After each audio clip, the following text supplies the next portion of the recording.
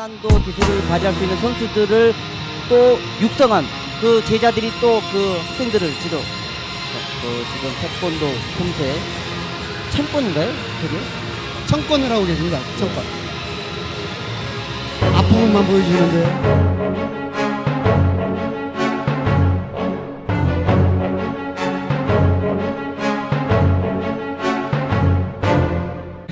지시하는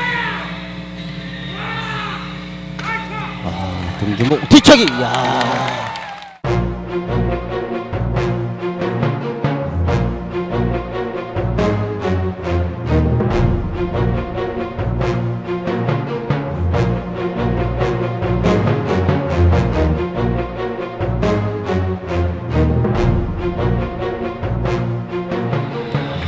아마 지금은 손으로 격파하셨다면 이번에는 저 예상에는 저기를 발로 격파하실 것 같아요. 지금 한 1m 한 60cm 정도 되어 보이는 장애물을 혹시 딛고 격파하지 올라갔습니다. 오 뛰었습니다.